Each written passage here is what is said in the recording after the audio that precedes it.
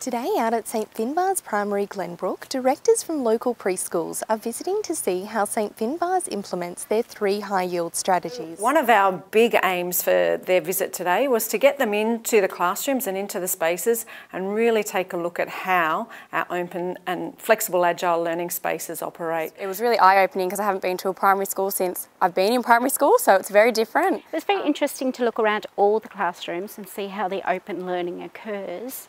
I was very impressed that the teachers look at children as an individual focus. I especially loved the one-on-one reading program that they have for the children. I think that's awesome to give them that time to actually be able to sit with the teacher and have some one-on-one -on -one learning. Our learning walks are something that we really look forward to each day.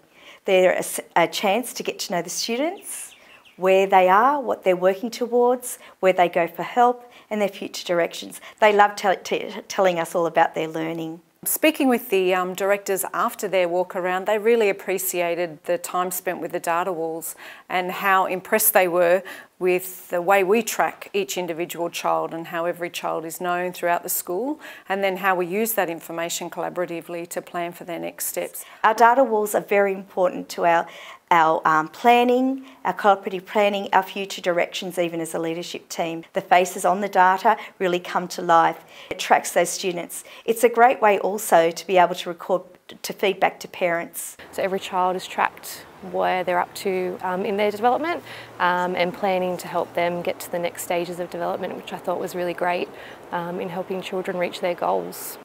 Another important strategy is the case management. We operate case managements three times a week at St Finbar's and that involves a team of professionals.